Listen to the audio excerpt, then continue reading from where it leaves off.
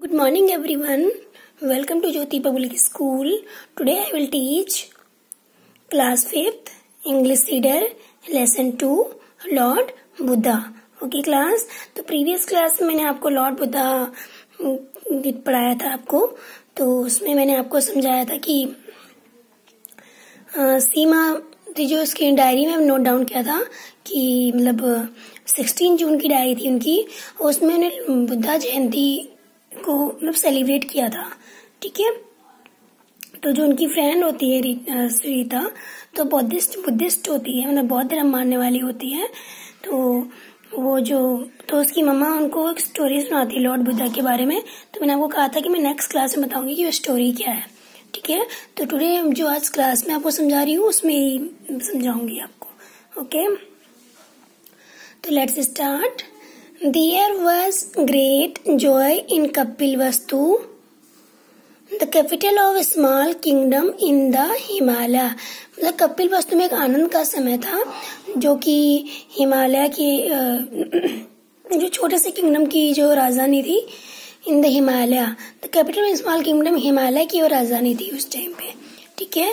Queen Mahamaya had given birth to a lovely boy जो रानी महामाया थी उन्होंने लवली बॉय को जन्म दिया बेबी बॉय को जन्म दिया।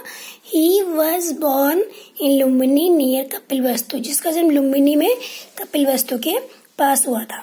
ठीक है? जगह का नाम है king Suddhodana had a grand feast तो जो किंग सुदोदन था, उसने ग्रैंड फेस्ट में जो था शानदार दावत का आयोजन किया था। He called his son Siddhartha वह अपने बेटे को सिद्धार्थ कहकर बुलाता था।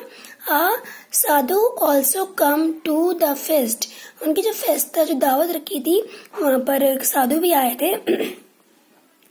He said Siddhartha would grow up to become either a great emperor और अ ग्रेट सन्यासी तो साधु ने भविष्यवाणी की थी। मैंने बताया था कि जो आपका बेटा सिद्धार्थ है, वो बड़ा होके या तो एक बहुत महान राजा बनेगा या एक महान सन्यासी बनेगा। ठीक है? तो सुदोधना थॉट सुद्धोधना सोचता है वो बोलता है I want my son to be a great emperor मैं अपने बेटे को एक महान राजा बनाना चाहता हूँ। I don't want him to be a sanyasi. मैं उसे सन्यासी बनाना नहीं चाहता। I don't want him to give up this world मैं उसे संसार को त्यागने नहीं दूँगा। मतलब संसार को छोड़ के जाने के लिए नहीं कहूँगा। ठीक है? गिव अप में सब कुछ त्याग के जो वनवास चले जाते हैं ना, उनको बोलते हैं। गिव अप में त्यागना होता है। छोड़ देना सब कुछ। So I will not let him see anything sad और अगली तो इसलिए मैं उसे ना ही कुछ बुरा देखने दूँगा, ना ही कोई गंदा चीज़ मतलब बदसूरत चीज़ मैं उसे देखने नहीं दूँगा। Siddhartha live in a large palace Siddhartha बहुत बड़े महल में रहता था। पैलेस मीन्स होता है महल. P A L A C E okay class the king did not let him go out anywhere तो जो राजा था, उसे बाहर कहीं भी जाने नहीं देना चाहता था, देता था। When Siddhartha grow up he was married to a beautiful princess called Yashodhara जैसे सिद्धार्थ बढ़ावा तो उसकी शादी, एक ब्यूटीफुल प्रिंसेस में सुंदर राजकुमारी से उसकी शादी करा दी गई, जिसका नाम यशोधरा था। They had a son called Rahul उनका एक बेटा था, जिसको राहुल कह के बुलाते थे their life was full of happiness उनकी जो लाइफ थी, वो पूरी तरीके से हैप्पीनेस थी उन्हें खुशहाली से भरी हुई थी। ठीक है?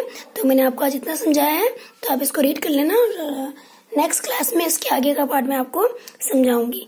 Okay class thank you